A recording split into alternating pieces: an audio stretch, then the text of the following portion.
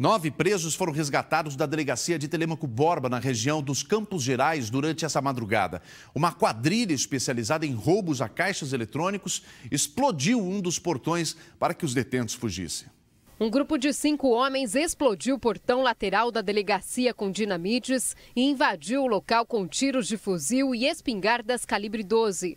Depois, eles cortaram os cadeados das celas e libertaram nove presos.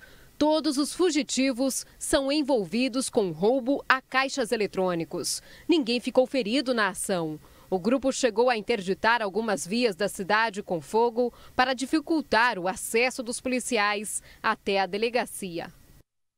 Até o momento, nenhum dos presos foi encontrado. Ah, com tantas fugas em penitenciárias, resgates, a galera explodindo o muro de penitenciária e delegacia para resgatar preso, eu não vou me espantar se daqui a pouquinho vier mais uma solução daquelas fantásticas. Ora, se tem muita fuga no presídio, a melhor solução que nós temos é a de liberar todos os presos. Pronto, daí acaba o problema de fuga, não é verdade?